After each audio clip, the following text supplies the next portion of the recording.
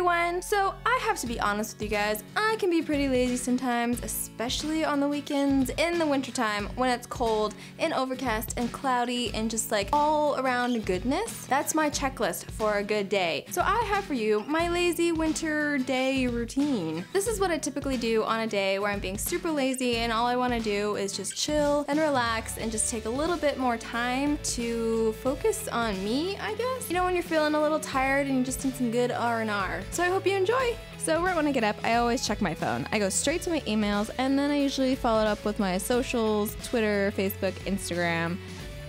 It's a huge waste of time, I feel like, but I enjoy it.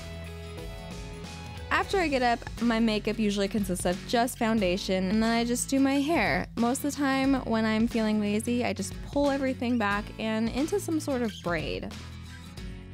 Today I decided to go for a fishtail braid, and it's actually really not that hard. It's very simple once you figure out what you're supposed to be doing. But normally I just use a regular braid, but I was feeling a little adventurous, I suppose.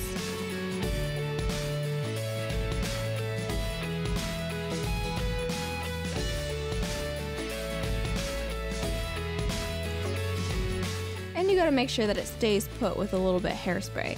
Then on my lazy winter days, I usually like to grab a big sweater and some yoga pants, and that's my outfit for the day.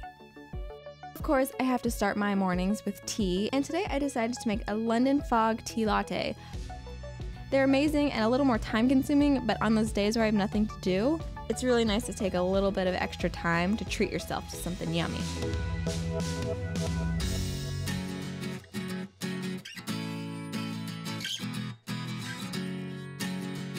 Now, syrups have a lot of sugar, and I didn't realize how sweet this tea was gonna be, and I added a little too much. So you can add as much as you want or as little as you want, depending on your taste. I probably would have done like maybe one tablespoon. So the difference between tea and a tea latte is that you're gonna have foam and whipped milk.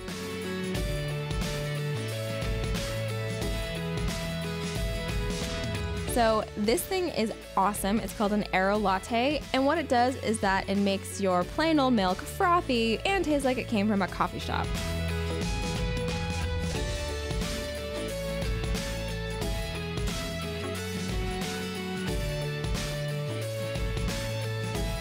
So this is my all-time favorite breakfast. Whenever I have all of the ingredients, I always make it. It's always super tasty and filling and goes great with tea.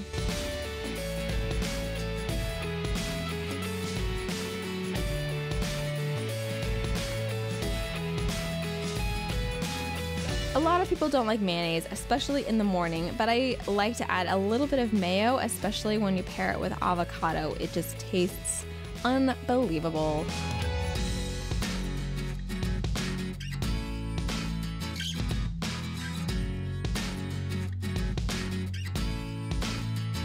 So the next ingredient is avocado. Now, people might think I'm weird, but when I slice my avocado and I put it on toast, I always like to mash it because it won't fall off that way. It's easier to eat and it won't slide off the toast. Doesn't look so pretty, but it all goes down the same. Next, thinly slice your tomato and then add it to your toast.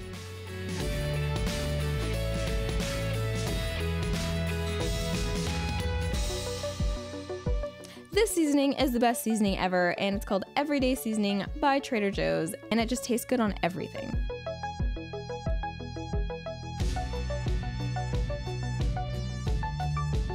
This diffuser is amazing. It adds like a little bit of scent and aromatherapy to your room, and it's really relaxing.